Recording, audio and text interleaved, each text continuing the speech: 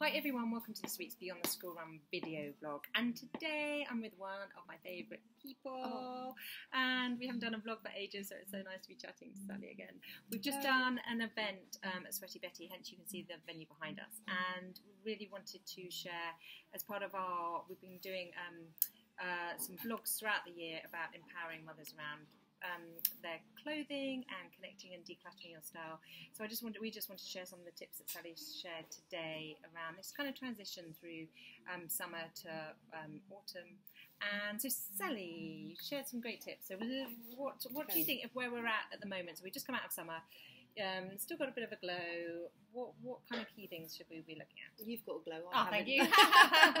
but um, yes, so I think um, even though the weather is quite mild, I think one thing that you can be guaranteed is that the cold weather will come. And um, I actually did a little bit of a calculation. Apparently, we spend 16 minutes per day choosing what to wear. And I've worked that out over the autumn period, which is going to be about 45 hours of oh choosing what to wear. So it does actually pay to be prepared, and this is yeah. a great time to do it when the stores are full of good items, and also it's a good time to assess what you actually have got because it's not always about buying new stuff, it's about making use of the styles that you do have. So, my top five tips would be first of all, assess your current autumn wardrobe, take a look at it. Give yourself, uh, be honest with yourself about what you will wear in the coming months ahead. Um, when you've done that, declutter your wardrobe. So get rid of all the items that you don't need, and then able to see what you actually do have to wear and assess your style a bit easier. Um, what I would suggest is if you do need to invest in some new items, so tip three is invest in up to date essential items. So, for instance, for me, that's um, a nice new coat and jeans because I like to wear jeans and trousers. So, rather than focusing on lots of other different things or buying the same similar things like the striped top that I'm always drawn to in the stores. It's about assessing really need and what you really use, and then use that as a base. And I'd quite so, like to show them your jeans after this because I really yeah. like them. okay, yeah, yeah. So I've I've actually worked on updating my jeans. Ah, so because I do love jeans, and I was yeah. getting bored with my old ones, so I did make a conscious effort to find some new ones. So, um, so yeah, so that would be my tip. Um, the the fourth thing to do is you know don't overload the dark colours. We are going into winter it is tempting just to wear dress in all black, but colours do change our psychology, they do change our mood, and they can make so much difference to how you feel and put you in a positive frame of mind. So, my tip there, um, my fourth tip would be, um, yeah, think about colours, think about using interesting colour combinations to refresh your look and refresh what you already have.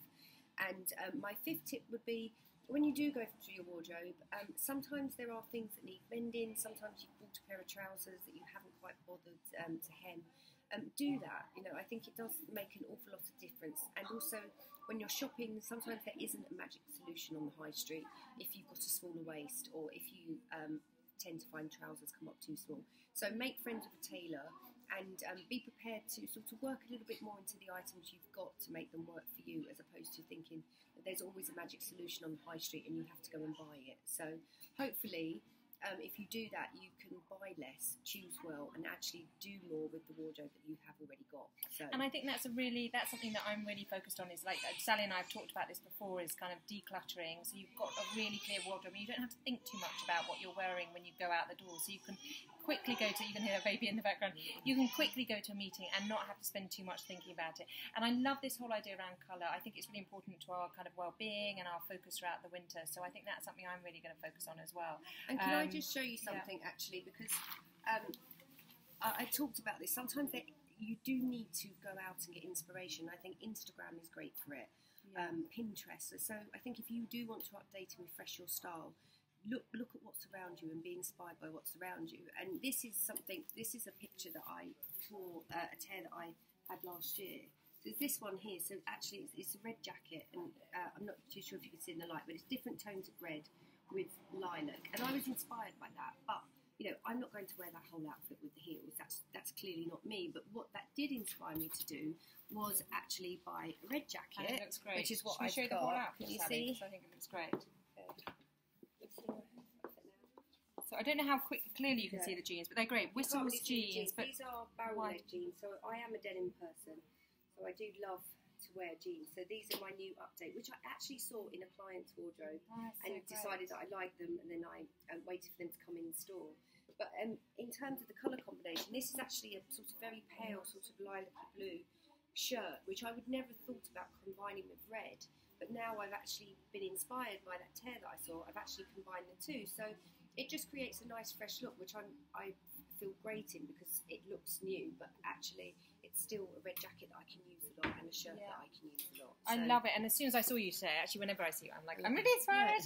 Yeah. Um, and it just, I just, the combination was really great, and that's the whole point: is having a little bit of few windows of time to think about it. When we often talk about it, Instagram really helps, like following a few of the kind of fashion bloggers, and also just decluttering, getting really clear on what works for you, and you know, I think that really can help us all get, get into work, feel great about ourselves um, day to day. So Sally and I share more of these. You can see our previous vlogs over on the Beyond the School Run um, YouTube channel, and we'll have more to share coming up. One of which uh, we're going to be talking about sustainable fashion.